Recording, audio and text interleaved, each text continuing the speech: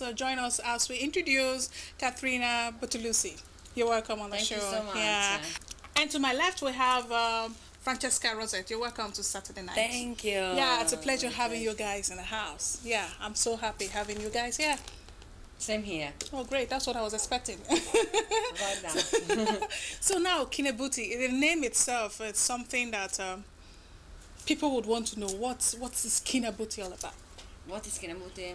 Uh, the name? or what is Yeah. Actually, the name I used to give myself as a kid since I couldn't pronounce my full name, Caterina Bortolussi. Okay. So when people were asking me, what is your name? I used to reply, Kina, Caterina, Okay. Butti Bortolussi. Because my Italian wasn't really, you know, like articulated. Oh, great. the name, uh, you know, stayed with me until now. Oh, great. So you named yourself Kinabuti. If after the name your parents gave to you, you just decided to mumble it together and just make it easier for others to pronounce Yes. it. And it's way, way easier for me. Kinabuti, it's, it's not Katrina.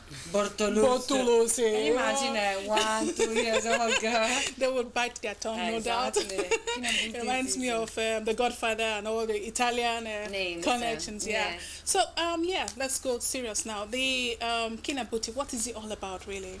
Okay, Kinabuti is an ethical fashion label that sees in uh, fashion a vehicle to make a difference, to make an impact. Right. And um, that's our mission, uh, and that's what we have tried to achieve throughout the years. We established ourselves uh, in Nigeria in 2010, and since then, that has been uh, the vision and the mandate. Okay, when you say a fashion initiative, um, what exactly did you set out to do? Well, we set up uh, um, a no. We have a, a limited organization and we have a no-profit organization. The Kinabuti Fashion Initiative is a no-profit, a charity, uh, and uh, has the objective of uh, um, inspiring, empowering, training, giving skills. As we are talking now, in uh, we have like some members of our team in Port Harcourt uh, training uh, single mothers. In uh, fashion related activities. So they're training single mothers how to silk screen, print on textile, and uh, without using machinery, but using local materials that you can find in the, market, so that these women uh, can actually start their own business or have the skills uh, to actually be hired by some by other people. And it's actually a very good initiative you know like uh, they, we decided to work with single mothers because uh, one of our girls uh, she became a single mother. So we came to realize the difficulties that she's facing.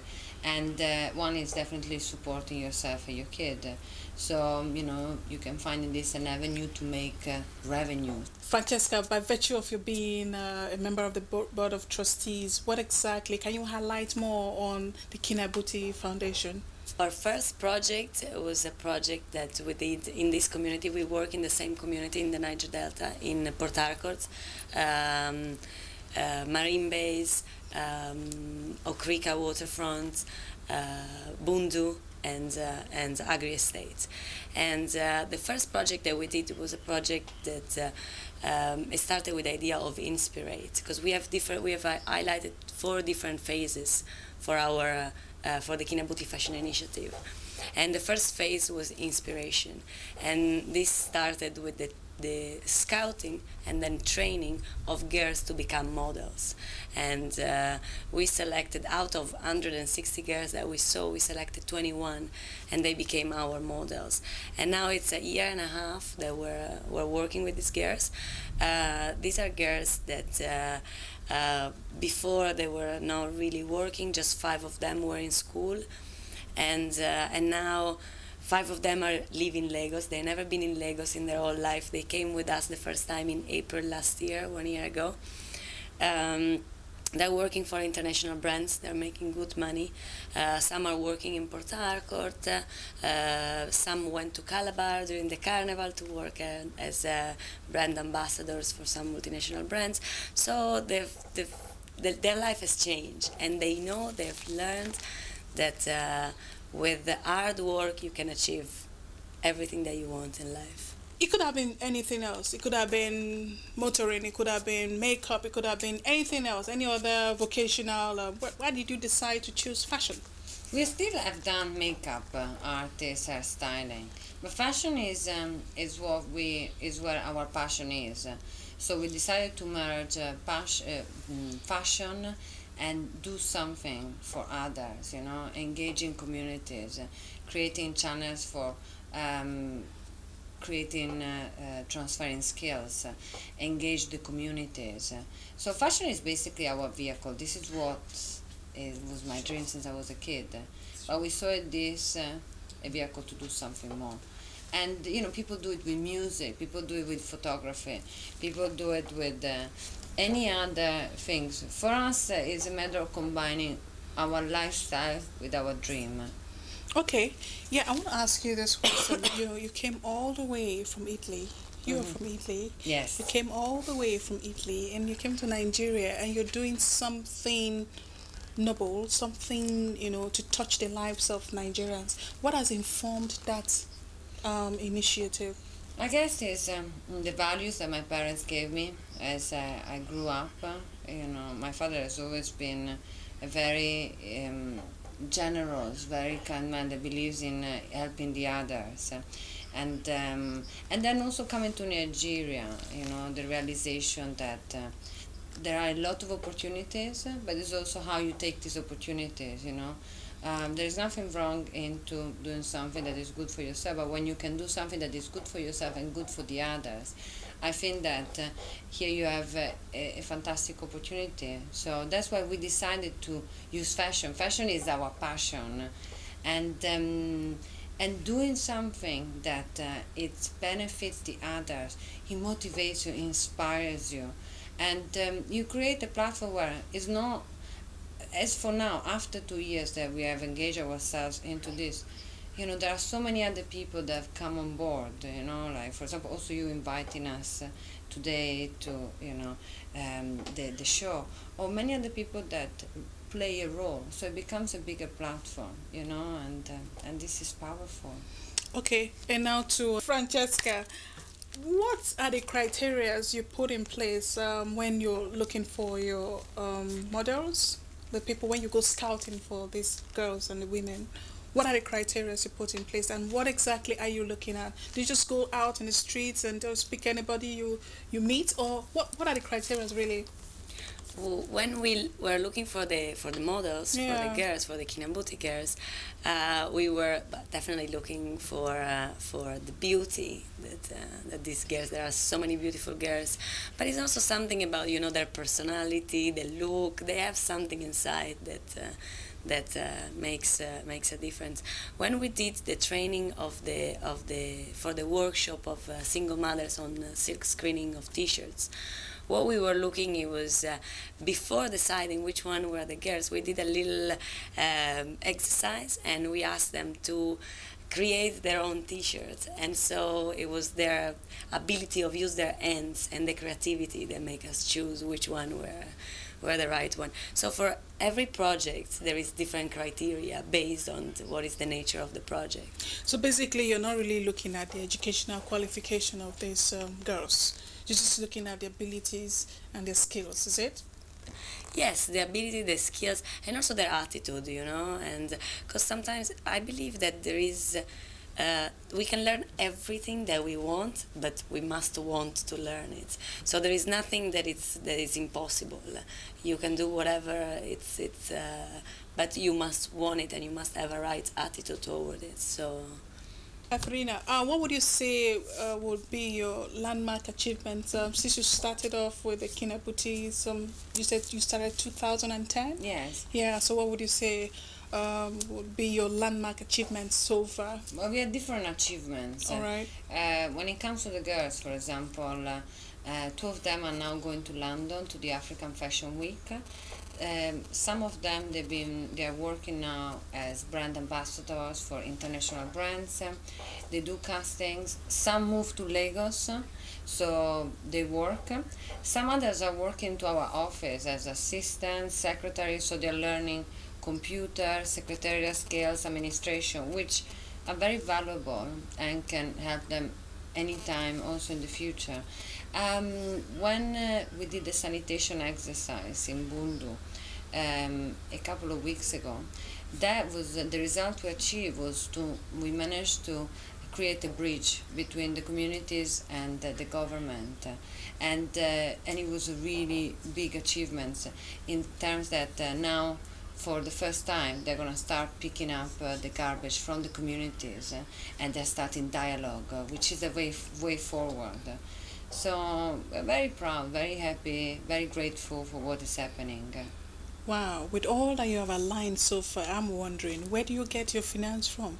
Ah, that's the most challenging part. It's always very difficult um, we have uh, people that has helped us uh, in the past, uh, but we always run on, you know, like shoestring budgets. Uh, we always try to be very creative uh, with, uh, but we need more support because there is a, a, new phase coming up, which is all about capacity building, and we want to start, you know, training plenty of youths into the communities in tailoring, cutting patterns, into vocations, fashion related vocation for them to achieve, uh, to create skills, to transfer skills into them and for be able to you know, have job opportunities. So for this phase, we really need a lot of support. Okay, so where's your project based? We are based in Lagos. We started our activities in Port Harcourt, but we're looking at expanding outside of Port Harcourt. That was our pilot. You know, before moving, consolidation is very important. Uh, if you start spreading yourself out, uh, you end up uh, lo losing focus and uh, losing also energy. So we decided, let us achieve, let us consolidate in Port Harcourt. As Why Port Harcourt? Uh, I've been working in Port Harcourt for a long time, since 2007, and uh, previously I organized two international film festivals in Port Harcourt in 2009, 2010. So it was very, it was a very like easy and very logic, um, you know, decision. We were there. I was doing the film festival and uh, I was given the opportunity to showcase my clothes during the film festival. So instead of going and look for girls into Lagos, that's how the idea. Why don't we give an opportunity to girls uh, from the local communities? We train them and we expose to the filmmakers, actresses. They actually the first fashion show the girls did. They did a fashion show with Genevieve Nnaji, Rita Dominic, Eku Edewor, because we wanted them to meet. Uh, their dream, the people that could become in the future. Interesting. That's a lot. So now, um, when you talked about um, the girls, do they have to all be slim? Is there space for people like us, people of our size there? There's space for everybody. Are you sure? we have space for everybody. it's true. it's true. Are you sure? Like, I'll take you. I'll take you. I'll take everybody you has something to offer. Oh, really? Everybody. We had uh, at one point a girl that I think she was one meter fifty-five, but she was so you know resilient, uh, and we said uh, no problem. You know, come. Yeah. Hmm. And then you went on. She went on. Now she uh, she recorded her first uh, music album. She was a singer. So it's called Lily, uh, and uh, she's really trying. So in one in one sentence, um, what would you um, projections? With looking at projections now, where do you see Kinabuti in the next ten years? Is it going to be like a, a Nigerian brand, or you want to make it an international brand? Well, it would be nice to consolidate ourselves in Nigeria. Mm -hmm. You know, achieve more, be able to train more people, to create a school and uh, after that uh, start looking outside uh, of mm. Nigeria and definitely you know um, in Africa internationally it's uh, but I think uh, before we need to be strong here oh know, great we've just started you've just started for how long have you been in Nigeria now uh, since 2000 beginning of 2006 and you four years four years so how would you say your experiences have been like you for starters has been very positive, challenging at the same time. But um, overall, I'm very grateful, you know, that I came to Nigeria. I, had, uh, I met very nice people and um, very good friends. Uh, and um, it's really a special uh, country. You know, my mother came already three times. I'm very happy to be here. You've been here. You've been here for that long. So, what are the foods you like? Tell us. Well, first of all, I must say I'm vegetarian. Oh, okay. So my, my, my spread of food. Plantain, plantain, all the time. She Yum, loves yum, yum. I love yum. yum. Oh, so you mean you haven't um, tried the eba, fufu? I, I would say it's fufu. No, but I like moi moi. Mm-hmm. And uh, what else? Uh, Akara. Akara. Akara. Oh, so what do you take the akara with? Oh, with like this, no? Like how? Am I supposed to d- dip it in something? Oh, so you just chew it like that? Yeah. From the streets. I buy it in the street. Oh, and you know also what we love, and soon is coming the season, the corn on the cob. Corn cob. Ah, With that thing that they The give green one. What is the called? purp- Uh, the yeah. pear. Yeah, okay. Eh, eh, what, what's Okay, the pear, avocado pear. No, No, Which that's one? from the east. Uh, What's that? I don't remember the name in uh, in Lelo, but it's called pear. It's, uh, Pear. Uh, that's pear. It's pear. Uh, that you have the green, it's greenish. it's soft. Uh, Uh-huh. soft. You eat it with the with the um, with the corn. Uh-huh. and it's oh, you mean you eat corn as well? Yes, You eat corn, you enjoy corn? we like. it. Oh, beautiful. So, um, with that put in place, I want to believe you guys, um, you ladies are single. Are you single? She has a boyfriend. And you? Yeah, but no, yeah. me, I'm single, so. So do we announce it to the world that, Uh, uh, announce, announce, please. I beg. that you're single? You're Announce. available. Are you available? Available. Because sometimes you can be single and not available. No, no, no, available. You're available. So um, on Saturday night, we're telling you that um, she's available. You can have her. You can come. Just knock on her door, and if you're lucky, you might just get the coming signal. Okay.